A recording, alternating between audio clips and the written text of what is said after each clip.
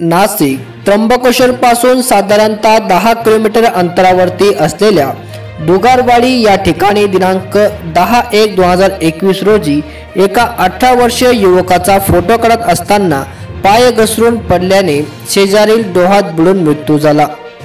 मृत्यू झालेल्या युवकाचे नाव आकाश रोहिदास पगारे. वय वर्ष अठरा असून तो राहणार नाशिक रोड शिवाजीनगर येथील रहिवासी होता.